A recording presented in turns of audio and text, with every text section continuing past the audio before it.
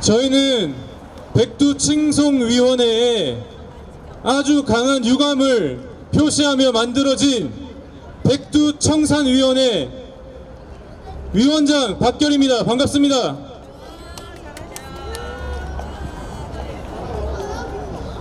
지금 대한민국의 현실을 여러분들께서 연일 뉴스와 언론을 통해 보고 계십니다.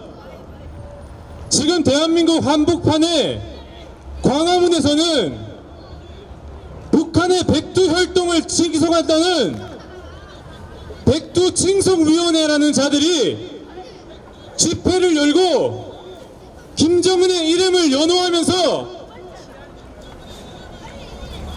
백두혈동을 칭송하고 있습니다. 저희는 정말로 거기에 대해서 위협을 느끼고 대한민국이 이제 갈 때까지 갔구나. 대한민국 한복판에서 적군의 수장의 이름을 연호하는 것이 아무렇지도 않은 그런 나라가 되었구나. 국가보안법이라는 것은 존재하지도 않는 나라가 되었구나. 그런 생각을 했습니다.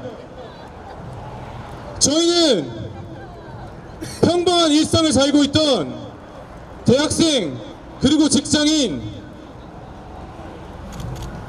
그리고 일반 청년들 저희를 도와주시기 위해 나오신 주부님들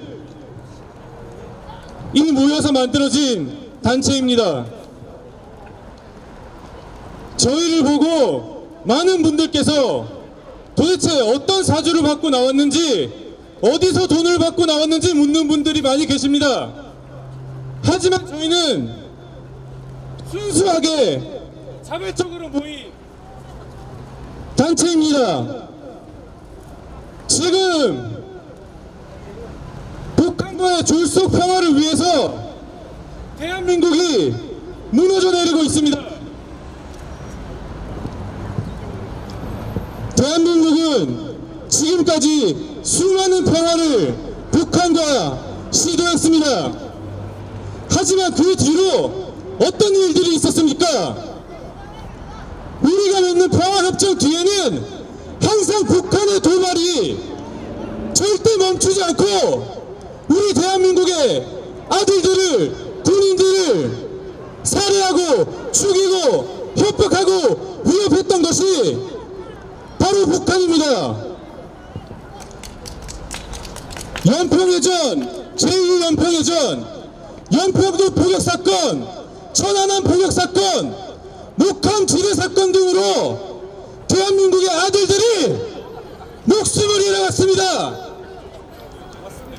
그런 북한과의 졸속 평화는 절대로 있어서는 안 되며 우리가 다시 한 번 더 속는 일은 없어야 됩니다. 이런 상황 속에서 대한민국 한복판에서 백두 활동을 칭송하고 있다니 저희는 정말로 어처구니가 없습니다. 제가 지금 마이크를 넘겨드릴 분은 실제로 북한에서 군인으로 생활을 하시다가 자유를 찾아 남한으로 넘어오신 탈북민 세터밀 라운지의 대표 이웅길 대표님입니다. 이웅길 대표님께서는 지금 이 북한과의 줄속 평화에 정말로 많은 우려를 표하고 계시며 이웅길 대표님께서는 지금 이 평화에 대해서 실질적으로 북한이 어떠한 입장인지를 너무나도 잘 알고 계신 분입니다. 탈북민 이윤길 대표님을 여러분들께 소개해드리겠습니다.